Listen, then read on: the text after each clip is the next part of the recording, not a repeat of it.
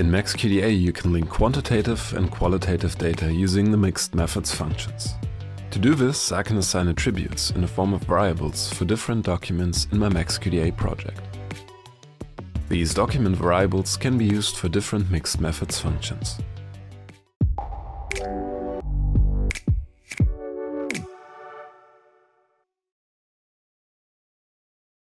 The options for creating or editing document variables can be found in the Variables tab. The list of document variables lists all variables that have been created so far.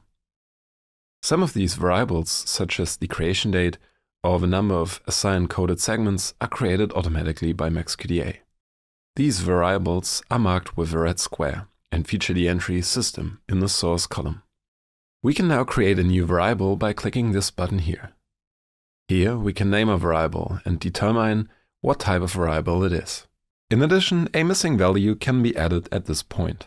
This will be helpful when you want to conduct statistical analysis in MaxQDA later on. Later on, we can display these favorite variables as columns in the overview of coded segments. This way we can look at the variable values for each coded segment.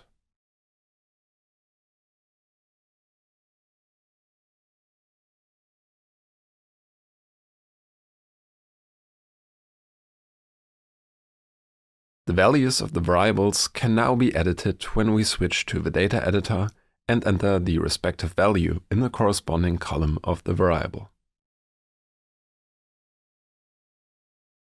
Variables and their values can also be imported into MaxQDA from an Excel table. The table must have the following format. The individual documents are listed in the rows, and the variable values are entered in the columns. In MaxQDA, variables can also be created from the code system. To do this, we right-click on one of the codes and then click on Transform into Document Variable. In the data editor, a new column appears with the name of the code. If we activate several codes, we can also transform several codes into variables via this button here. The cells here then show how often the code occurs in the document.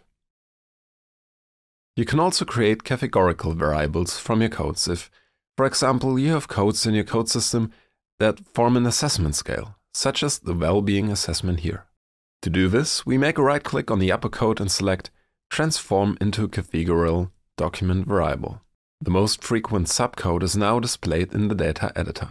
If the code positive was used more often than the code negative in the interviews, then this most frequent code is displayed here.